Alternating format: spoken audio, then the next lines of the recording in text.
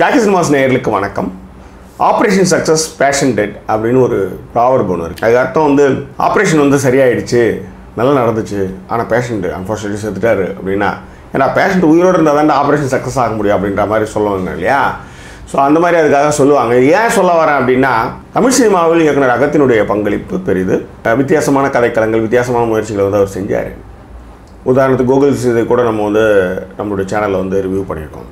But அவருடைய இயக்கத்தில் வெளிவந்த விடுகதை படம் நான் முன்னாடியே சொன்னால ஒரு proverb operation success patient dead அப்படின்ட்டு. அந்த பேஷன் டெட்டு விடுகதை தான். ஏன்னா அவருடைய ஃபஸ்ட்டு கமர்ஷியல் ஃபெயிலியர் ஏன்னா அதுக்கு முன்னாடி அவருடைய படங்கள் எல்லாமே வந்து கமர்ஷியலாக ஜெயிச்ச படம். இந்த படம் வந்து அவருடைய கமர்ஷியல் ஃபெயிலியர்னு சொல்லுவாங்க. பட் படம் வந்து ஒரு வித்தியாசமான முயற்சி. ஸோ அந்த திரைப்படத்தை தான் இந்த எபிசோடில் நம்ம வந்து பேச போகின்றோம். இந்த படம் விடுகதை. இந்த படம் வந்தபோது இது வந்து ரொம்ப வித்தியாசமான முயற்சி என்று அந்த படம் பார்த்தப்ப எனக்கு புரிஞ்சுது. ஆனால் இந்த படம் வந்து அந்த நேரத்தில் வந்து பெருசாக கொண்டாடப்படவில்லை. அதனால இந்த படம் வந்து என்ன சொல்கிறது விமர்சகர்களால் வந்து ரொம்ப அற்புதமான கதை அப்படின்னு சொன்னாலும் கூட மக்களால் வந்து பெரிதும் பாராட்டப்படவில்லை. அதனால தான் வந்து ஆப்ரேஷன் சக்ஸஸ் பேஷன் டேட் அப்படின்னு சொன்னேன். ஸோ இந்த திரைப்படத்துடைய விரிவான விமர்சனத்தை நம்ம பார்க்குறதுக்கு முன்னாடி இதற்கு முன்பாக இந்த விடுகதை படம் பார்க்கலன்னா பார்த்துட்டு வாங்க.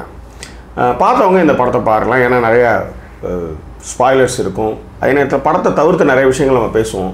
இதை விட ஏதாவது முக்கியமான வேலைகள் இருந்தால் அவங்க தயவுசெய்து இப்பயே கிளம்பிடலாம். ஏன்னா வந்து படத்தை தவிர மற்றதெல்லாம் பேசுகிறேன் அப்படின்னு சொல்லுவாங்க. ஸோ அந்த மாதிரி ஏதாவது ரொம்ப அர்ஜென்ட்டான ஒர்க்லாம் இருந்ததுன்னா உங்களுடைய நேரம் ரொம்ப முக்கியம். இந்த மாதிரி இடத்துல வந்து உங்களுடைய பொண்ணான நேரத்தை வந்து வீணாக்க வேண்டாம். ஸோ நீங்கள் கிளம்பலாம். ஸோ விடுதலை திரைப்படத்தை பற்றி கொஞ்சம் விரிவாக நான் ஒரு பார்வையாக பார்க்க போகின்றோம். ஸ்டேட்யூன் ஜாக்கே சினிமாஸ்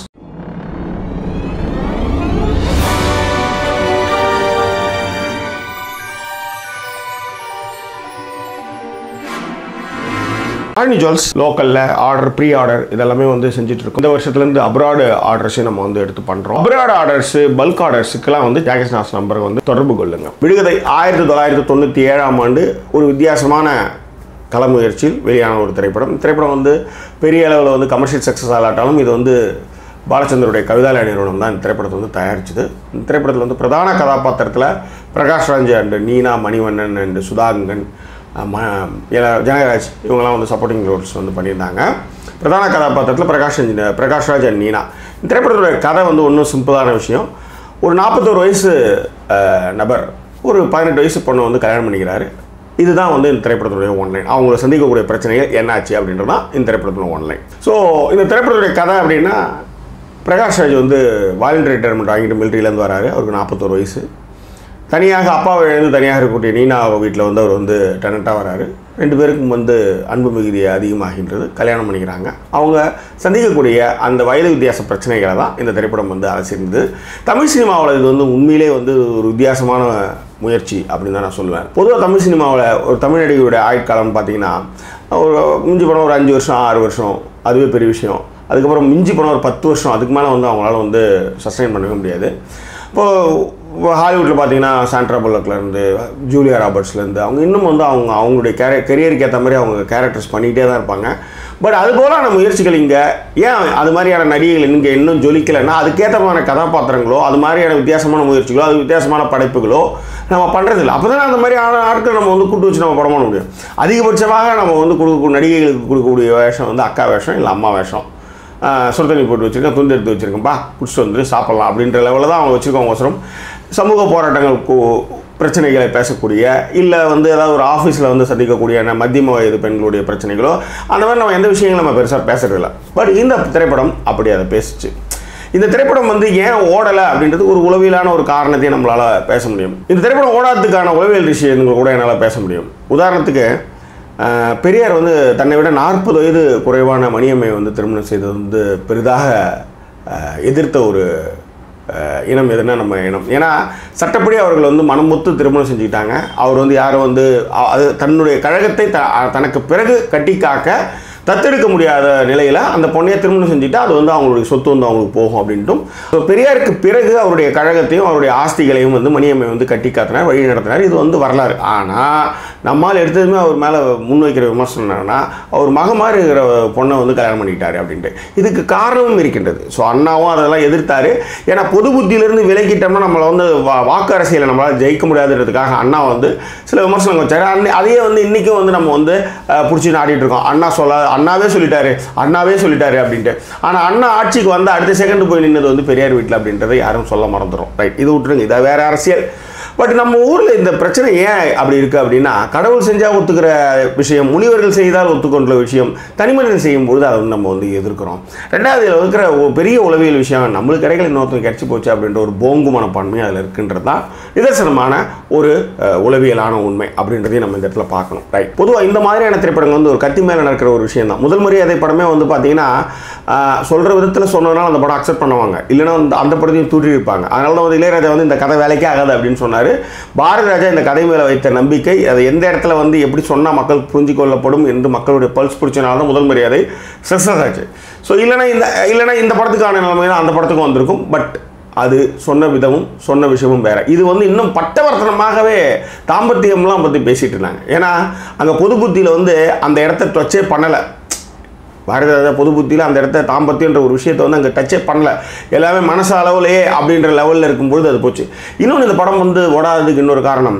தன்னுடைய மனைவி இதெல்லாம் பார்த்தா ஒரு கேள்விகள் கேட்குற மாதிரி ஆகிடும் தன்னுடைய மகள் இந்த படத்தை பார்த்தா அவள் வந்து சில விஷயங்களை யோசிக்க தோணிடும். தவறான முன்னுதாரணமாக ஆகிடும் நாமளே படத்துக்கு போய் காமிச்சிட்டு வந்து ஓ நாற்பது வயசு ஆளா கல்யாணம் பண்ணால் இது இதுவும் காதல் நினச்சி மக் ப- பசங்க நம்மளுடைய பொம்பளை பசங்க வந்து மாறிடுவாங்களோ? அப்படின்ற பயங்களும் இந்த படம் ஓடாததுக்கு காரணம் சில படங்கள் ஓடாததுக்கு மிக முக்கிய காரணம் சில பட்டவர்த்தமாக பேசின விஷயத்தை விஷயத்தை தன் மனைவி மீது தன் மகள் மீது நம்பிக்கை வைக்காதனாலே சில விஷயங்களை வந்து அடக்கி வாசிச்சிடுவாங்க அதனாலே ஓடாமல் சில படங்கள் போயிருக்கு. அந்த மாதிரியான படங்கள் இந்த படமும் எடுத்துக்கலாம் அப்படின்றது என்னுடைய அபிப்பிராயம். ரைட் இதில் என்னன்னா நம்ம ஆட்களுக்கு எப்பயுமே அடிமனு சாசியெல்லாம் வெளிப்படையாக பேசி பழக்கமே கிடையாது. அதை வந்து உடச்சி பேசவும் பழக்கம் இல்லை. இந்த படத்துல கூட பார்த்தீங்கன்னா அகத்தியன் வந்து இன்னைக்கு செக்ஸ் எஜுகேஷன்லாம் வந்து நெட்ஃப்ளிக்ஸில் இருக்கு. அந்த மாதிரியான ஒரு சுதந்திரம் தானே இந்த படத்தை வந்து அவர் நினச்ச லெவலில் எடுத்திருக்கலாம். பட் இதில் பார்த்தீங்கன்னா நிறைய தடுமாற்றங்கள் உங்களுக்கு பட திரைக்கதையில் உங்களுக்கு வந்து புரியும் உங்களுக்கு. சரி அதை விடுங்க. பட் பிரகாஷ் ராஜ் ரொம்ப நல்லா பண்ணியிருப்பாரு. ஆனால் என்னென்னா அந்த கேரக்டர் ரொம்ப மெச்சூர்டாக பேசும் ஃபஸ்ட்டு ஆனால் அதுக்கப்புறம் பார்த்தீங்கன்னா இவ்வளோ இம்மெச்சூராக நடந்துக்குவாங்களா அப்படின்ற மாதிரியே இருப்பார். பட் இருக்கலாமே. அப்படி ஒரு கேரக்டர் இருந்தால் என்ன ஆகிறது அப்படின்றது தான் நீனும் வந்து ஃபண்டாஸ்டிக்கான ஒரு பிளேவை பண்ணியிருப்பாங்க. இந்த இடத்துல வந்து என்னென்னா ஒரு அப்பா மகள் அந்த பேச்சில் வந்து எனக்கு ரொம்ப பிடிச்ச விஷயம். ஜனகராஜா அவங்க பேசிக்கிட்டு இருக்கிறப்ப ஒரு விஷயம். ஸோ எந்த இடத்துல வந்து அப்பா வந்து ரொம்ப பிடிச்சது அந்த பொண்ணுக்கு அப்படின்னும் பொழுது உறவுன்றதே ஒன்றும் இல்லாமா கவர்மெண்ட் ஆஃபீஸ் மாதிரி தான் ஒருத்தர் ரிட்டையர் ஆனால் அந்த இடத்த வந்து ஃபில் பண்ணுறதுக்கு வருவோம் இப்போ நான் செத்துட்டுனா உனக்கு ஒரு புருஷன் ஒருத்தன் நிற்பான் ஸோ அதுக்கடுத்து புல்லன்னு ஒருத்தன் வருவான். அது மாதிரி அது வந்து அந்த இடத்த ஃபில் பண்ணுறதுக்கு மகள்ன்ற அப்படி வந்துக்கிட்டே இருக்கும். இதுதான். அதனால் யாரும் யாரையும் கைப்பிடிச்சலாம் எடுக்க முடியாதுன்னு சொல்கிறதெல்லாம் வந்து நெருக்கு நான் என்ன சொல்ல நறுக்கு தெரித்த வசனங்கள்னு சொல்லுவாங்க அந்த மாதிரியான விஷயம். ஸோ மரணத்தை பற்றி ஜனகராஜ் பேசி முடிச்சு அவர் இறந்துடுறாரு. அந்த கட்டத்துக்கு வந்து நீலகண்டன் வராரு. நீலகண்டன் வந்ததுமே அந்த பொண்ணுக்கு ஏன் அந்த கேரக்டர் வந்து பிடிக்குதுன்னா வந்ததுமே ஒரு மரணத்தை பற்றி தான் பேசுவார்.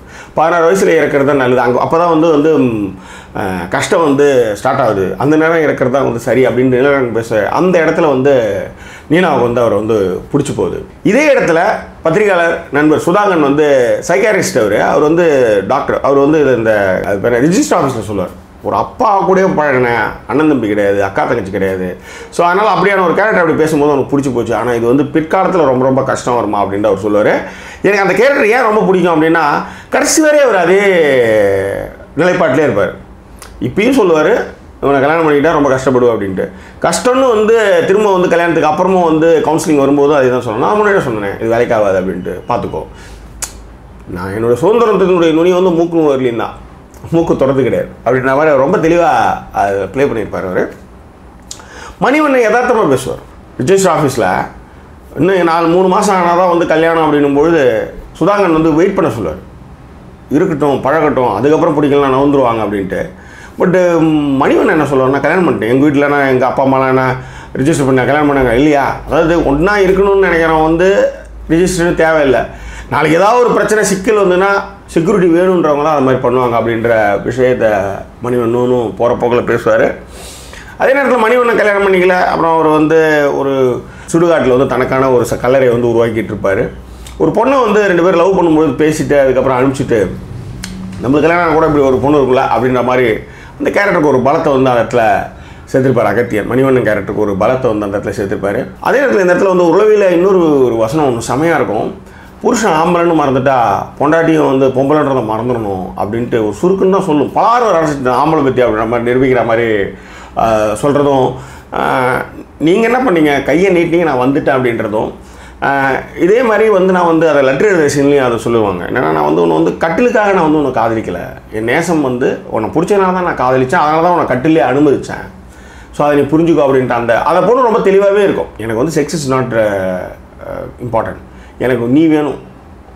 ஏன்னா ஒரு மனுஷன் எப்படிலாம் உள்ளார வந்தான் அந்த பொண்ணு வாழ்க்கையில் அப்படின்றதும் அவனுடைய அவன் வந்து அழுவுறது இருபது வருஷத்துக்கு எனக்கு வந்து கல்யாணமே எனக்கு எதுவுமே இல்லை என் வாழ்க்கையை நான் தொலைச்சிட்டேன் அப்படின்னு புலம்புறது. இதெல்லாம் வந்து வேணும்னு செய்யலை. பட் இருந்தாலும் அந்த பொண்ணுக்குள்ளே வந்து அந்த கேரக்டர் வந்து எப்படி உள்ளார வந்தாங்க அப்படின்றது உணர்வுகள்ன்றது ஒரே ஒரு விஷயம் தான் த லவ் அதுக்கு வந்து நீங்கள் எந்த வேரியேஷனில் வேணாலும் அந்த வந்து நீங்கள் வந்து உறவுகளை வந்து நீங்கள் வந்து சொல்லலாம். அண்ணனாக அப்பாவாக தம்பியாக தமக்கையாக அக்காவாக. ஆன்ட்டியாக புருஷனாக தம்பி எப்படி வேணாலும் அந்த உறவுகளை சொல்லலாம். ஆனால் பேசிக் என்னென்னா அந்த லவ் இந்த சமூக கட்டமைப்பில் உறவுகள் ஒன்று பேர் ஒன்றா டி வேரியஸ் ஆஃப் பெயர்கள் ஒன்றா இருக்கலாம். எது? அண்ணன் தம்பி அக்கா இப்படின்னு பேசலாம் ஆனால் ஆதார சுருதி லவ் தானே. அதுதான் இந்த இடத்துல வந்து அந்த பொண்ணு நீனா வந்து அந்த கேரக்டர் மேலே வச்சுருக்கோம். ஸோ அதுக்கு அவர் சொல்கிறது அதுதான். எனக்கு செக்ஸ் அதுதான் வாழ்க்கை. அது தேவையில்லை எனக்கு. நீ என் கூட இருந்தால் போதும். I'm very comfort with you அப்படின்றது தான் அந்த கேரக்டர் சொன்னால் இன்னும் கொஞ்சம் அதை கொஞ்சம் பலமாகவே சொல்லியிருக்கலாமோ அப்படின்ற இது இருக்குது எனக்கு ஒன்று அதே நேரத்தில் இந்த நிம்மதின்றது வந்து தாலாட்டு பாடும்போது சின்ன வயசில் நிம்மதி தூக்கம் வரும். தாம்பத்தியத்தில் வந்து மத்தியம வயதில் தூக்கம் வரும். கடைசியாக வந்து வாழ்க்கை நிம்மதியாக இருக்கிறப்ப தூக்கம் வரும் அப்படின்றத சொல்லியும் எனக்கு வந்து கட் நான் உன்னை காதலிச்சதுனால தான் உன்னை கட்டில் அனுமதிச்சேன் அப்படின்ற அந்த மெச்சூரான கேரக்டர் வந்து ரொம்ப ரொம்ப அற்புதம். ஸோ ஆனால் என்னென்னா இவ்வளோ மெச்சூரான கேரக்டர் வந்து அந்த ப்ரா போடாமல் கருப்பு ஜாக்கெட் போட்டு வந்தவங்கள வந்து விமர்சிக்கிற அந்த சீன் வந்து எனக்கு இன்னும் அது வந்து எனக்கு ஒப்புமை இல்லைன்னு வச்சுக்கோங்க. ஒருவேளை அந்த காலகட்டத்தில் ஆயிரத்தி தொள்ளாயிரத்தி தொண்ணூற்றி ஏழில் ஒன்றா அது வந்து ஓகேவாக இருக்கலாம். அவங்களுக்கு வந்து ஆயிரம் பிரச்சனை இருக்கலாம். அவங்க ப்ரா போடாமல் இருக்கிறதுக்கு ஏகப்பட்ட பிரச்சனைகள் இருக்கலாம். அவங்களுக்கு வந்து மார்பகத்தில் புண்ணு இருக்கலாம். இல்லை ஏதோ ஒன்று ஸ்டாப் வந்து இதாக இருக்கலாம். சம்போஸ் ஏதோ அவங்க வந்து வெறுமனே வரலாம். அவங்க ஒரு ஜ ஒரு ட்ரெஸ்ஸு போட்டு வந்திருக்காங்க அவ்வளோதான் இல்லையா? பின்னாடி பக்கம் முதுகு தான் தெரியுது. முன்னாடி பக்கம் மாறாப்பும் இல்லாமல் இருக்காங்க. அதை பற்றிலாம் அவங்க வந்து கமெண்ட் அடித்து பேசுறது அது அது- அப்போ விடுங்க அதை விட்டுருங்க. அது அந்த காலகட்டத்துக்கான ஒரு விஷயமாக இருக்கலாம். பட் என்னென்னா இந்த படத்தில் இருக்கிற மைனஸ் அப்படின்னு பார்த்தீங்கன்னா அந்த கோகுல இதில் இருக்கிற மாதிரி ராம்ஜி கேரக்டர் இதில் வந்து அழுதுகிட்ருக்கும் அப்புறம் அந்த ஐட்டம் பொண்ணு ஒரு ஒன்று வரும். அது வந்து அங்கே தலைவாசல் விஜய் வந்து எச்சு துப்புற பொண்ணு தான் இங்கேயே வந்து அந்த ஐட்டம்கெல்லாம் வந்து உள்ளார வருவாங்க. இப்போ பேசி கூப்பிட்டு வர பொண்ணாக பேசுவாங்க. கார் பக்க வாடகைலாம் எடுத்துவாங்க அந்த பொண்ணு தான் நினைக்கிறேன் திங்க் ஸோ இந்த படத்தில் ஃபண்டாஸ்டிக்கான சீன் பார்த்தீங்கன்னா விஜயன் வந்து பிரகாஷ் ராஜை வந்து கூட்டு வச்சுட்டு அந்த நகையை திருட்டிடான்னு சொல்லி தான் பொண்டாட்டியை வந்து பொண்டாட்டி கூட பழகின அந்த டிரைவரை வந்து சொல்கிற சீன் அது. அது ரொம்ப நல்லாயிருக்கும். எப்பயுமே லேடிஸ் வந்து சேஃபர் சைடு தான் அப்படின்ட்டு சப்பானி கதையை சொல்கிறதும் அந்த மயில் கதையை சொல்கிறதும் ரொம்ப நல்லாயிருக்கும். ஆனால் அந்த இடத்துல ஒரு மிகப்பெரிய சர்க்கிள் இருக்கும். வேறு ஏதாவது ஒன்று சொல்லியிருக்கலாம். பட் இன்னும் வந்து என் ஃப்ரெண்ட் ஒருத்தனை வந்து வீட்டில் உட்கார வச்சேன் சாப்பிட கூட்டாங்க. அது வந்து வந்து புருஷன் புருஷன் வந்து ஸ்டாப் பண்ணுற இடம். அப்படின்னு சொல்கிறது வந்து என்ன இடத்துல அது பிரகாஷ் ராஜுக்கு வந்து சுருக்குன்னு குத்தணுன்றதுக்காக வலிந்து திணிக்கப்பட்டதாகவே இருக்கும் அந்த இடத்துல. அந்த இடத்துல வேறு ஏதாவது ஒரு கன்வின்சிங்கான ஒரு டயலாக் வரும். ஏன்னா இவ்வளோ மெச்சூராக பேசிட்டு கடைசியில் தொப்புக்கடின்னு வந்து கழனி பாடல அந்த மாதிரி அந்த கேரக்டர் பேசுறது ரொம்ப காமெடியாக இருக்குன்னு வச்சுக்காங்களேன். இந்த படம் வந்தபோது வந்து இந்த படத்துக்கு எனக்கு சம்மந்தம் கிடையாது. இந்த படம் வந்ததுக்கு அப்புறம் வந்து இந்த படம் பார்க்கும்போது இந்த படம் வந்து ஃபுல்லாக ஷூட் பண்ணது இந்துஸ்தான் காலேஜ் அது ஒன்று நம்ம அந்த காலேஜில் ஒரு அஞ்சு வருஷம் வேலை செஞ்சோம். அடுத்தது வந்து ஜெகதீஷ் அதில் நடிச்சிருப்பார். கை கொடுப்பார் ஃபஸ்ட்டு படம் வந்தபோது. அவர் காதல் கூட ஏன்னா அகத்தின் படங்கள்லாம் நடிச்சிருப்பார். அவர் எங்கூருக்கார் கடலூர் கூத்தப்பாக்கம் அவர். அதுக்கப்புறம் வந்து ராம்கி வந்து அந்த பர்த்டே சாங்க்கு ஆடுவார் இல்லையா? அதுக்கு வந்து பஞ்சு அருணாச்சலத்துடைய பையன் கிருஷ்ண சுப்பு பஞ்சு தான் வந்து டான்ஸ் மாஸ்டர் இதுதான் தெரியும் எனக்கு.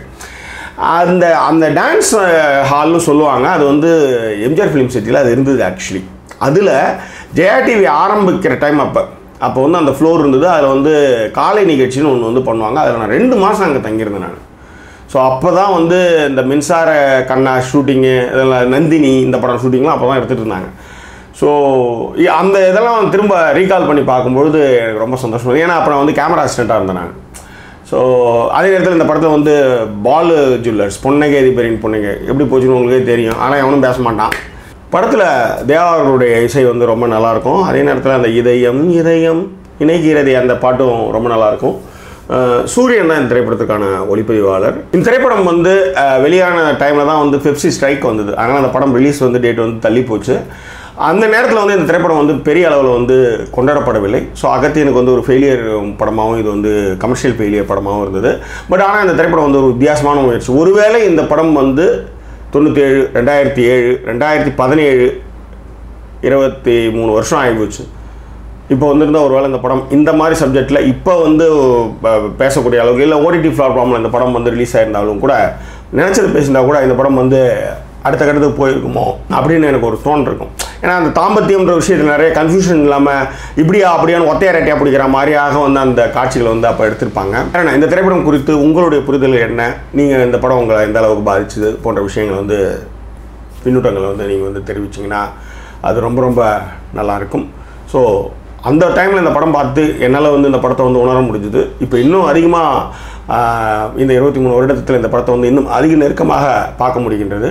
ஸோ இது போன்ற உணர்வுகள் ஏதாவது இருந்ததுன்னா அதை நீங்கள் பின்னூட்டங்களை தாராளமாக தெரியப்படுத்துங்க.